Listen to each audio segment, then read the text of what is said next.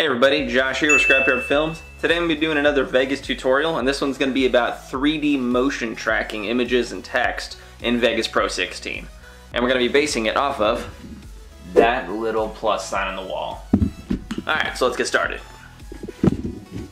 So first thing is I dragged in a clip that I took of a mark on my wall and I rotated around it at about 180 degrees going from left to right and we're going to make an image look like it's plastered on the wall and rotate with the camera. So it's going to rotate in 3D. So first thing we want to do is duplicate the track. Let's right click, do insert new video track. This one, hold control, drag it up, duplicates it. From here, we go to the Bezier masking and the B's. Click it. I had best luck with the circle in this one because I don't want it to lose that plus sign because we're going to be rotating. So I'm going to drag the circle and we're just going to Get right there. That looks fine to me. Go under mask 1, go under tracking, hit start. And let it track this circle the whole time. Alright, masking done. Perfect. So I'm going to mute it. I'm going to show you the clip real quick.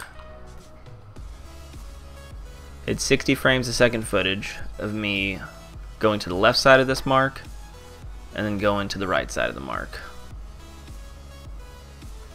So that's what we just masked, so we can unmask that.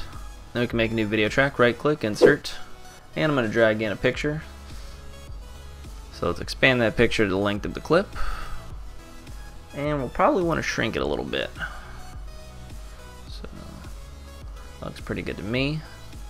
And then we drag pip, picture in picture. It's in the P's over here. Drag the default on here. It's going to shrink it a little bit more so you can increase the scale of this if you want it to look a little bigger, which I'm going to do that. Let's keep it at 1. That's the size I want to keep it. So once we've done that, you want to select the picture and you want to select the tracked image by holding control and clicking it. And then once you have them both selected, go to Tools, Scripting, and then Copy Motion Track to PIP. Now we could actually delete the tracked image, save on resources, and we have this picture that's tracked with the wall on the mark. But you see it's not rotated with the wall yet, so we got to do the 3D rotating now. So first thing is we can delete this track. So we want to click little options bars up here, and then we want to go to compositing mode, 3D source alpha. So we're making this track a 3D source track. Then we click the bar again, and then we do track motion. And that brings up this window. This is your little 3D plane window. Here you can do everything with it. Right now, this picture is on a 3D plane. You can see from the top, left, and the front. You could rotate it, you could turn it upside down. You could do whatever you want with it. And you could do it all with keyframes. So that's how we're going to do this. So we're going to drag this over here for a second off the screen. So right now I'm pretty much right in front of the mark. And so I want to play the video and then pause it right when I stop moving, which is about right there. So we look at the time down here, 406. Bring it back over here. And what we want to do is drag the timeline here to 406. Once we've done that, we take the x-axis bar, click and drag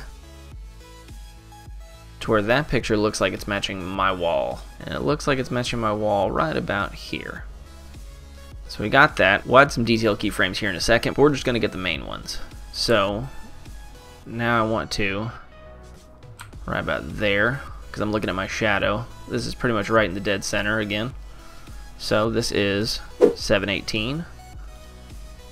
Go back to the track motion and at 718 we want to add a keyframe.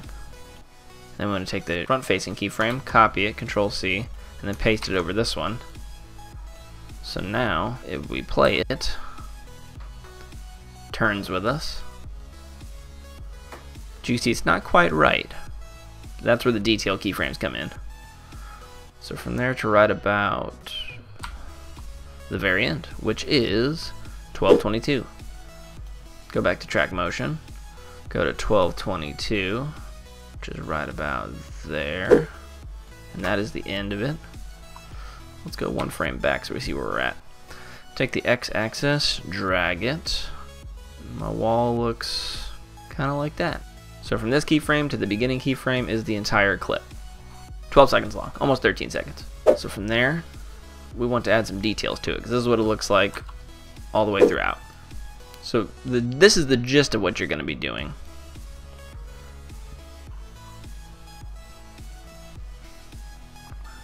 which it looks pretty good right off the bat, but we want to make it look a little better. I want it to stop moving while I'm not moving. So if I look right about here, which is 3 minutes 20 seconds, I stop moving the camera. So we go back to track motion, and at 320, we drag the marker up there, and we're to add a keyframe. And then we're going to actually copy this keyframe, because I want the final position to be the same the whole time I'm stopped. So copy, paste, check it again. I start moving again right about here, which is 422. Bring that here. So we also want to paste the keyframe at 422. So now while I'm not moving, the picture's not moving, which is exactly what I wanted. So let's see what that looks like. That looks pretty good. Just looks a little bit small because it should be getting bigger because we're getting kind of closer to it technically. So let's open that back up, track motion, right about here. We want it to be a little bit bigger. So let's take a corner and drag it. So that looks pretty good there. So we can copy, paste, paste. And then it'll start shrinking as it comes back to here. See how that works? Perfect.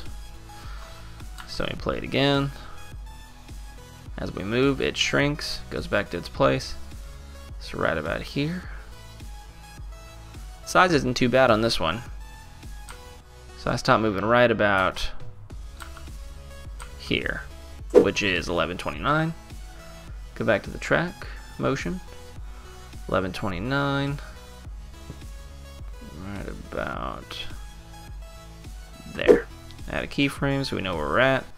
Copy this one, paste it over this one, and then I'm, I'm pretty happy with that size. So let's see what this looks like.